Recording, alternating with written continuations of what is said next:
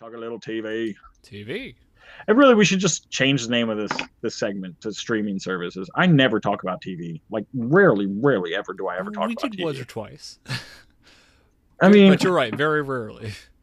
very like- so incredibly rarely. Like, I mean, it's ridiculous. Like, I I want to say, not like again. If I say like one more time, I'm gonna I'm gonna shoot myself. Right now, I'm actually just trying to look up something.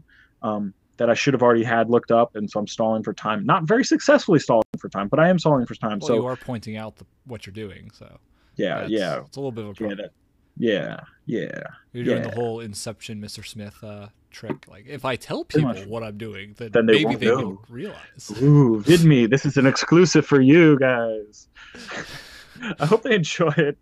But uh yeah, so Crazyhead is Netflix's one of Netflix's newest original TV shows. Popped up on my uh, streaming service uh, just about a week or two ago, and I was like, "Hey, sounds interesting. Very interesting premise. It's about two women who can see demons in everyday life, and uh, they hunt them. So sort of hunt like them. Grimm, except for with demons or Yeah. supernatural. Yeah, supernatural has demons, so there you go. Yeah, supernatural has demons. So- Yeah, yeah, yeah, but it, it's not quite the same. It's kind of just yeah. it's a, it's a similar vein of like this supernatural Yeah. hunters uh, TV, which a lot of people love, including myself. so there you go. But this one is not more in those vein as in the genre. Yeah, the genre's in there, but it's a comedy. Like it's not all funny. There are some serious moments. It's kind of a dark comedy, but it's a it's a comedy. It's really it's a British comedy, which kind of explains it if you do like British TV shows and stuff like that. They have kind of a darker side of humor to a lot of their things. So that's where it is. Now, just to start off with, uh, just the, the main characters. Um, I love them both. Both the two women do amazing jobs. Especially this is what I was looking up. Susie Wokoma that uh, she is spectacular. I, I just love her her she's like crazy but not crazy and you just believe everything that she's doing and it just it feels like yeah yeah like if, if there was a real person in that situation this insane crazy situation where you have to fight off demons i believe it would be her you know like that's that's what she does and the other main character uh Cara Theob- uh, Theobold yep Theobold um she's gorgeous um so if you're ever in america i would love to take you out for dinner sometime anytime and i know Will it might come back to maybe? maybe yeah i know she might say maybe. Who knows? I might get the maybe again. And if you don't know what we're talking about, just rewind or watch us on VidMe. You'll see what we're talking about. But I, I, I think they both, and it's such a great dynamic duo. It's like the odd couple because they don't quite, you know, they don't quite fit together. But then that's why they fit together, you know. It, so I really like the dynamic between those two leading ladies. There's a couple other actors. There's like a guy that he's kind of likes her and she kind of likes him, but it's not, you know, it won't happen. And, you know, there's a couple other good actors, and I do enjoy who the main villain is. Let me give you that guy's name. His name is Tony Curran. I don't like that last name. I like a good last name, but um, uh, yeah. So he's in there, and he's spectacular as the main villain, and I'm really excited to see where these characters are going. But character-wise, acting-wise, it is top-notch. I've enjoyed it. It's spectacular so far. It just, it just flows.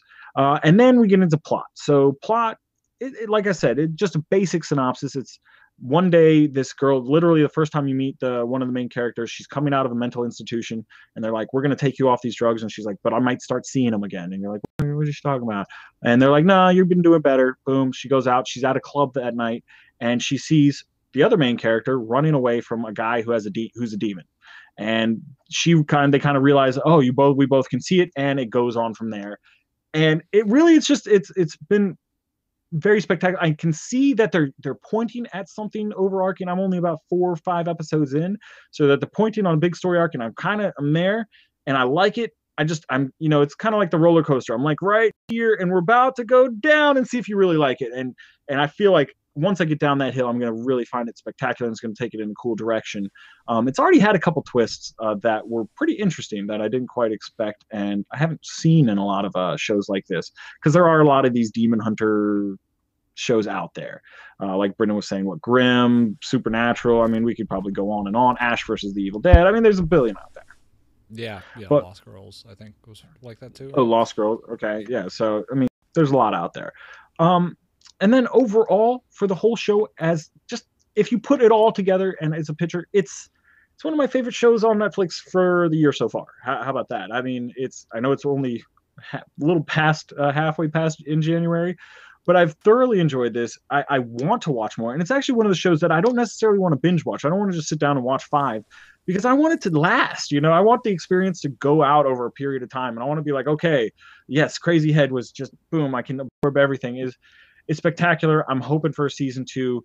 If I had to give an overall review of this show, I'd give it a 4.25 out of five. I've really enjoyed the show. I think it's a really cool mixture of the demon hunting genre, which I enjoy, uh, good comedy aspect, and they don't do it the same way. We just listed like a hundred things, and most of them aren't female lead characters, and this is really strong, cool female lead, unique lead characters. I think than what we normally get. Uh, I guess Lost Girls, you said, was one of those. Uh, Well, I made a point um, over there. Brian, too. There, uh, you said you were hoping for a season two. I believe I saw earlier there is a season two now. So, Sweet. Awesome. so there That's exactly go. what I wanted. So, so yeah, go out and check it out. Again, I give it a 4.25. But hit us up. Let us know what you think. Have you seen Lost, Girl, uh, Lost Girls? Crazyhead. Do you like it as much as I do, or do you think I'm a little bit crazy in the head? Eh? Uh, Eh? yeah. Eh? All right, hit us up. Let us know. Comments down below. Of course, at Words to My Face on Twitter, Google Plus on Facebook. Always good ways of getting a hold of us. Let's keep on.